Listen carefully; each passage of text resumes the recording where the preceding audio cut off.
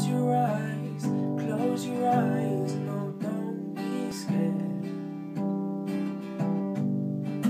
Take my hand, take my hand, and feel again. Speak your mind, speak your mind.